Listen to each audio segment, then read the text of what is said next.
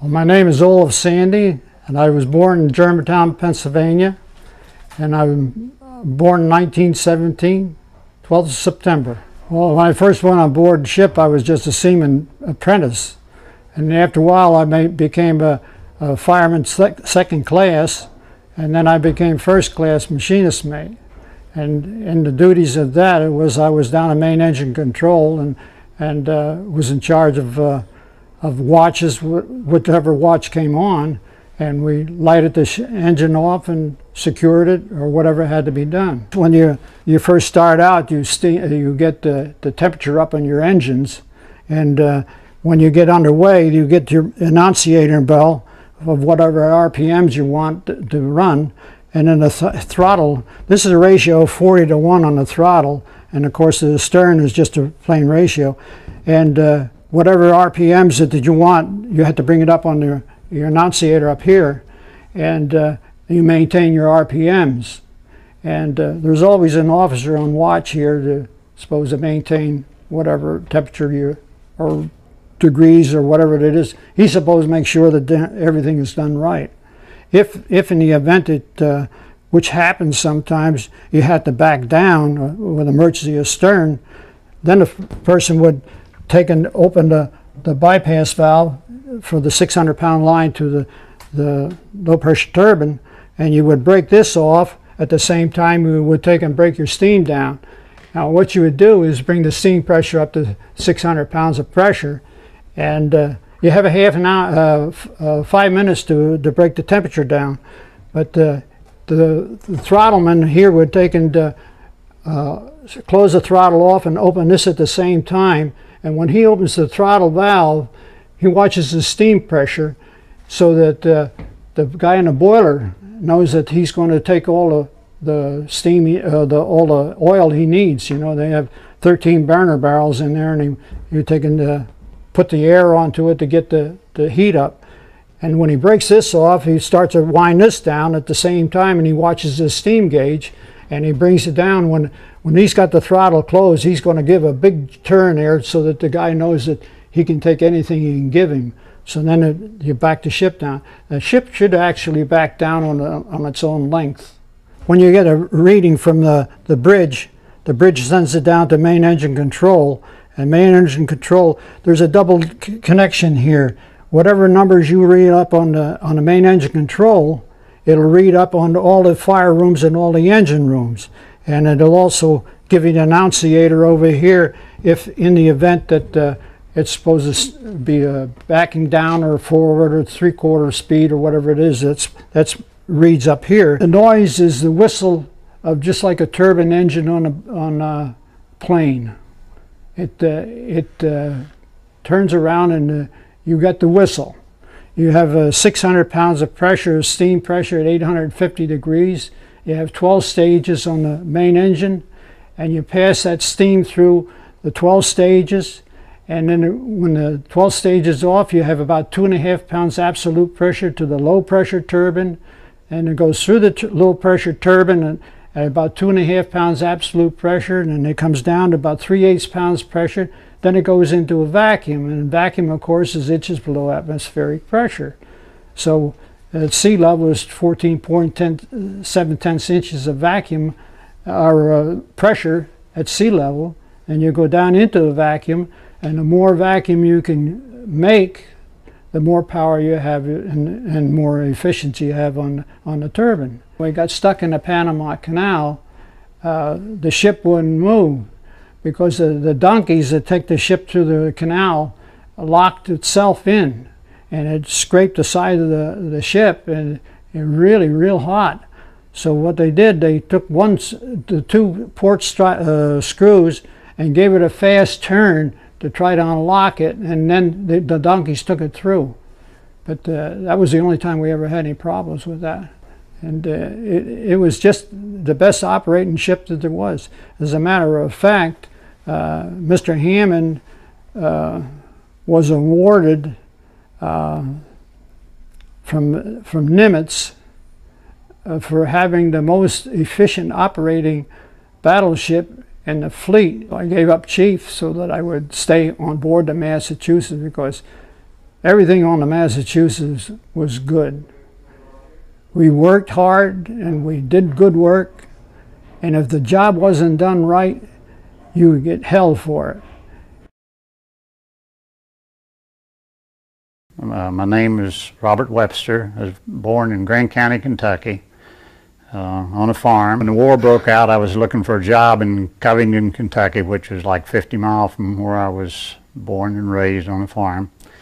And uh, um, Pearl Harbor Day, we had uh, been out on the farm and was going back to uh, to Covington. And uh, when we got out of the car at my uncle's house. Um, uh, President Roosevelt was on the radio saying that Pearl Harbor had been bombed. So at that time we knew, uh, you know, we was going to be in, in the war. So uh, then uh, uh, I, my dad was in World War One, and he had told me a lot of stories about foxholes and rain and sleet and hail and all that stuff that he had to waller in while he was in in uh, Germany, and I didn't want to get involved in that sort of thing. So, and I liked the Navy uniform. You know, I thought the women all liked that a little better than they did the Army uniform. So I chose the Navy. So I joined the Navy in uh, Cincinnati, Ohio, and uh, that was in November of '42.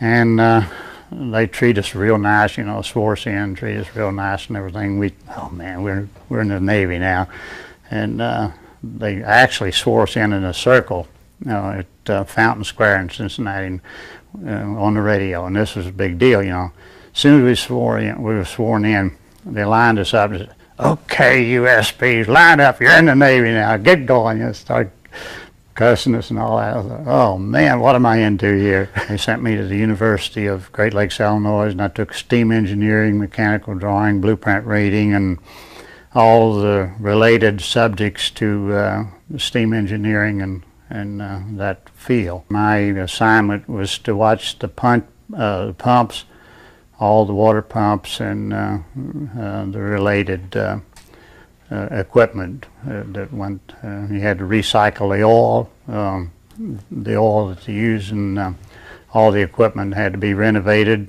and you renovated that back into good oil and use it over again and all that.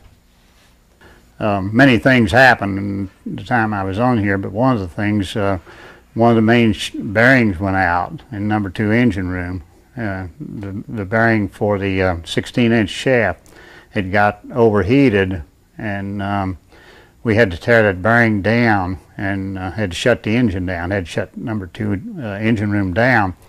And we were in the fleet um, at that time uh, getting ready, I believe we was going into Truk uh, for the invasion there.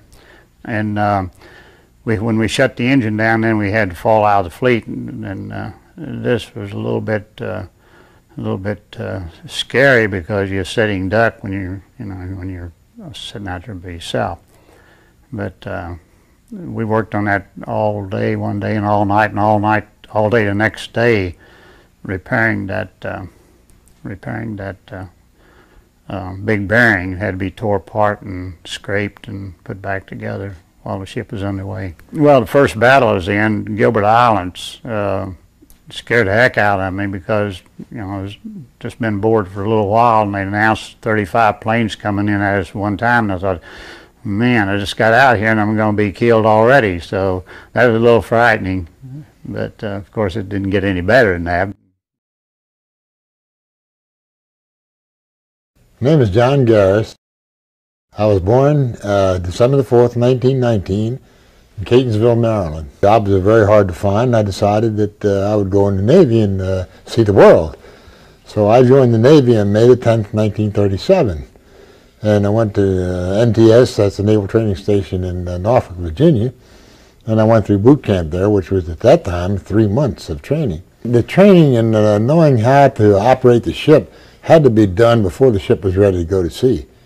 So there was a nucleus crew which is stationed in Quincy right next to the uh, Fore River shipyard and they were all on uh, TDY which was you were on sub sub subsistence on the beach. As, uh, as my highest rank in the engine which was chief, uh, which was first class before I was transferred, was uh, to oversee all the junior men.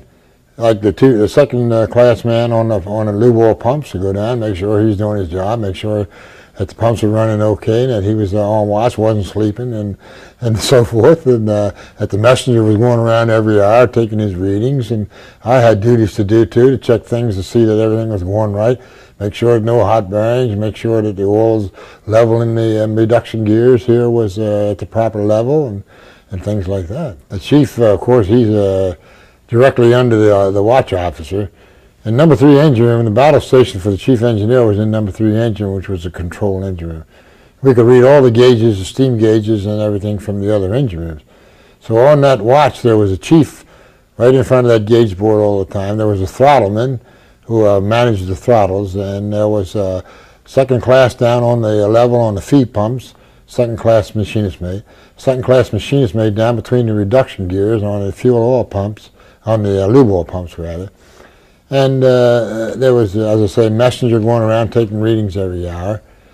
Um, and that, uh, that was one watch on the, on the engine room crew. So we made a turn that I know no battleship probably has ever uh, listed that much uh, that I ever, ever heard of. We had uh, things like the chief engineer's director chair sliding down across the, the checker plates and the rag can sliding across the checker plates and everybody's holding on to from sliding across the checker plates. We said, what's going on on the top side? Because we never knew. And uh, the guy who, who uh, was on the phones up on the uh, smoke watch, he called down and said that three torpedoes passed on one side and one passed on the other side. That the turn got us in between those two and saved us from being hit by torpedoes. When we fired uh, the 16s, anytime, even during gunnery practice, in the engine room, you didn't, well, of course, during gunnery practice, you knew you weren't going to be hit, but you didn't know what the explosion was, whether something went off accidentally or whether we were, the guns were going off. In the Casablanca, we didn't know whether we were being hit or whether the guns were, the 16s were going off. And every time they fired the guns or any kind of explosion took place on the top side, a, a cup full of rivets would uh, come down out of the ventilators and land on the floor plates, bouncing like hail, you know.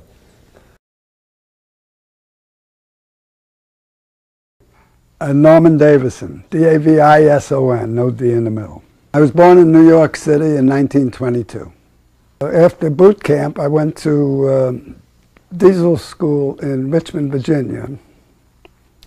And uh, they were placing people on, uh, when they graduated there, they were placing people on PT boats anywhere there were diesel engines. So Ma Massachusetts had some diesel engines. So we were shipped up to Boston, and I joined the ship in Boston. I had one foul up, which could have been bad. Uh, in my, one of my pump room watches, uh, the pump got hot, uh, and I turned it off, and, and all of a sudden, there was a, well, the Old Brave was in the room there with me, and uh, it seems that was the only water main for fires or anything else at the time. So uh, I didn't get court-martialed, but I was three months of compartment cleaning. By that time, I looked around and I thought, who had the cleanest uniforms? The electricians. So I asked to go in electrical division. And I went into the uh, battery shop was my first assignment.